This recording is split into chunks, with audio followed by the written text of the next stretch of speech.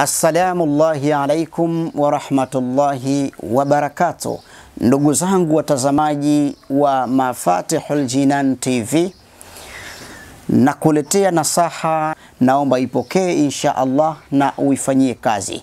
Qala Allahu subhanahu wa ta'ala, inna Allaha yaamuru bil adli wal ihsan wa itai dhi qurba wa yanha 'anil fahshai wal munkar wal baghi ya'idhukum la'alakum tadhakkarun. Sadakallahu al-azim. Aya hii ipo katika surati Nahali aya nambari 90.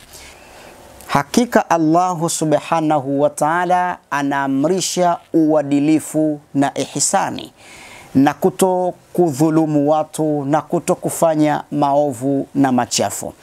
Ndugu yangu Muislamu, kwa mnasaba wa aya hii ni kwamba hakika Mwenyezi Mungu anatupenda sisi na Allah hayuko tayari kutuona sisi tuangamie, na ndiyo maana katuletea nabii, katuletea kitabu ili tushikamane na mafunzo haya, tumfuate mtume huyu ili tupate kufaulu. Hayuko yeyote atakayefaulu katika dunia hii, ima kesho akhera, kama hajashikamana na Qur'ani na hajashikamana na mafunzo ya Qur'ani na kumfuata Mtume Muhammadun sallallahu alayhi wasallam.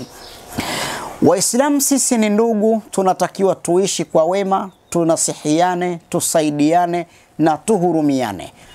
Qala Rasulullahi sallallahu alayhi wasallam, yasiru wala tuasiru wabashiru wala tunathiru, anasema Mtume mtukufu, fanyianeni wepesi na msifanyiane uzito, bashirianeni na wala msikimbiane.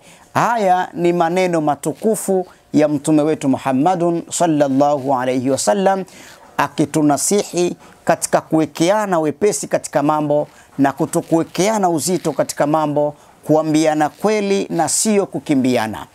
Usimkimbie mwenzio pale unapomwona amekosea, bali mvute, mpe nasaha, mshauri, kwa sababu nasaha ndiyo dini. Tuache kusengenyana na kubaguana na kukimbiana na kudharawana. Vitu hivi vyote ni makosa, kwa sababu Allah hajaamrisha tufanyiziane dhulma. Dhulma ni mbaya. Kumkimbia mwenzio na kwenda kumsengenya ni makosa. Kumfanyia mwenzio uzito katika jambo ambalo hatoliweza yeye ni makosa pia. Vile vile tujitahidi kuishi kwa wema. Waqala Rasulullahi sallallahu alayhi wasallam, ana madinatul ilmu wa Abu Bakar hasasuha wa Umar khitanuha wa Uthman sakafuha wa Ali babuha la taqulu fi Abibakar wa Umar wa Uthman wa Ali illa khaira.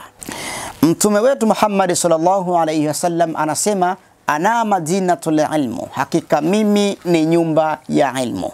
Madinatul ilmu maana yake kwamba mtume ni nyumba ya ilmu wa Abubakar hasasuha, na Abubakar ndiyo misingi ya nyumba hiyo ya ilmu, na Umar khitanuha, na Saidina Umar ndiyo kuta ya nyumba hiyo ya ilmu. Pia vile vile wa Uthman sakafuha, na Uthmani ni sakafu ya nyumba hiyo ya ilmu. Pia vile vile wa Aliyu babuha, na Saidina Ali ndiyo mlango wa nyumba hiyo ya ilmu.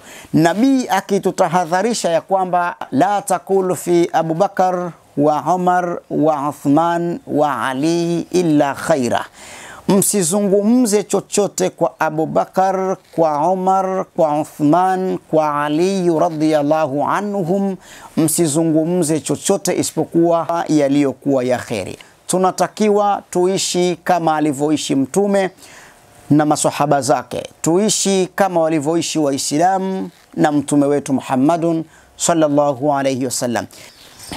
Ndugu yangu Muislamu, tuishi kwa wema. Sisi ndiyo Waislamu na sisi ndiyo ndugu, kwa mnasaba wa kauli yake Allah, innamal mu'minuna ihwa, hakika Waislamu ni ndugu. Fa aslihu baina hawaikum wattaqullaha la'alakum turhamun tuishi katika kalima moja ya la ilaha ila Allah Muhammadur Rasulullah, na tusiishi kwa mnasaba wa itikadi ya madhehebu fulani.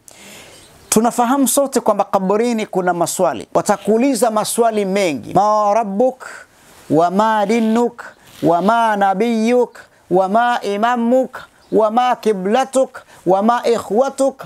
Watakuuliza maswali haya kwa maana kwamba wewe unatakiwa ujibu kwamba Allahu rabbi, mola wangu ni Allah, walislama dina, na Uislamu ndiyo dini.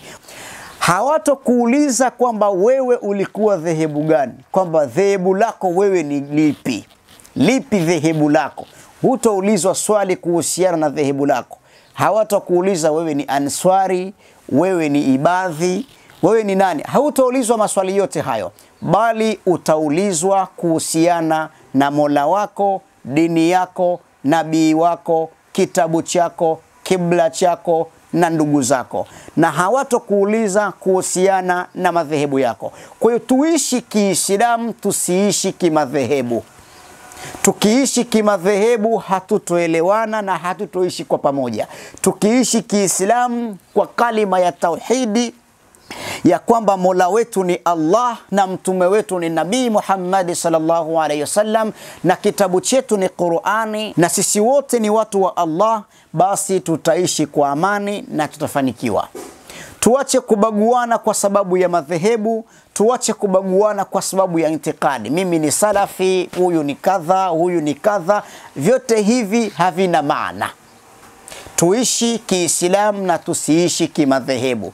Wewe kama ni salafi, kaa na usalafi wako, muabudu Allah na umkubali Mtume Muhammad na kumfuata. Kama we ni Wahabi, muabudu Allah na mkubali mtume na kumfuata pia. Kama we ni ahlu sunna, muamini Allah, mkubali mtume na umfuate pia. Kama wewe ni answaru sunna, muamini Allah, mkubali mtume na umfuate Mtume Muhammad sallallahu alaihi wasallam. Usiishi katika Uislamu kimadhehebu, ishi Kiislamu, kwa sababu Uislamu ndiyo tulioletewa na mtume na hatujaletewa madhehebu.